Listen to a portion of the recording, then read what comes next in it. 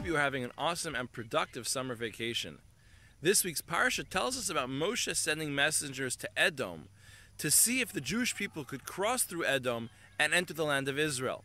What's interesting is that Moshe sends them twice, and both times he's told, No, you cannot. And therefore, the Jews travel around and they enter by crossing the Jordan. Why was it so important for the Jewish people to reach out to Edom and to see if they could travel through their land?